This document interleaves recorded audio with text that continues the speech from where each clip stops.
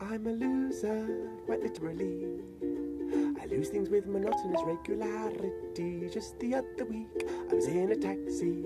I left my bag, my phone, my wallet, and eyes on the back seat.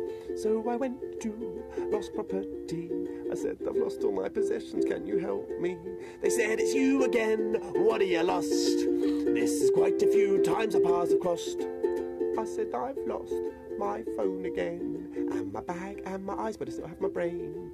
They said, okay, come with me, let's go and take a look in section D. This presented me with some difficulty. It's hard to see without your eyes, you see. The man from security went into section D, whilst I stumbled into the ladies' lavatory. At half past three, they found me. I was covered in tissue paper and wee wee. They said, Get out, you crazy lout. Your stuff ain't here, get out. So I went to my house in Hackney, but on getting home I found I'd also lost my house key. So I broke in through the pantry. I smashed the window with my fist and cut my pinky.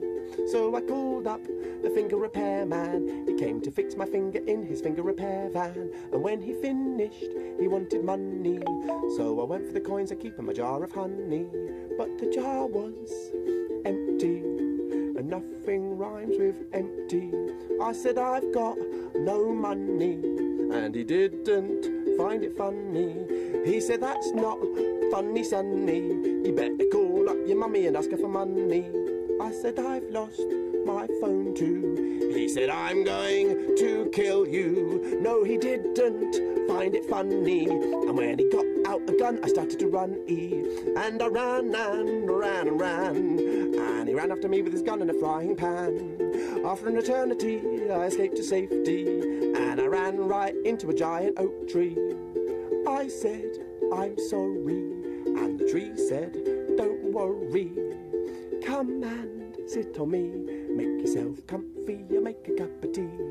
We sat and chatted until dawn. And then the tree started to yawn. I said I should probably go now. And the tree said, Okay, I'll see you around. And she sat me down from her bough. When just then up walked a cow. I said, How do you do? And the cow said, Moo. It was quite an ugly creature. A boil on its face was its distinguishing feature. So I killed this hideous beast and sat myself down to prepare a feast. In fact, I'm only joking. We spent a pleasant morning smoking and a talking, and then I remembered I was lost. I had to get back any cost. You see, I don't just lose my stuff as if that wasn't enough. Nope, I also lose my way. I'll lose my brain someday, some people say. I've been lost in this forest for eight years now, playing hide and seek with the tree and the cow. The last game took eight days, so the cows decided to build me a maze. And I play this song daily and gaily. I lost my guitar, so I play it on ukulele. Woo!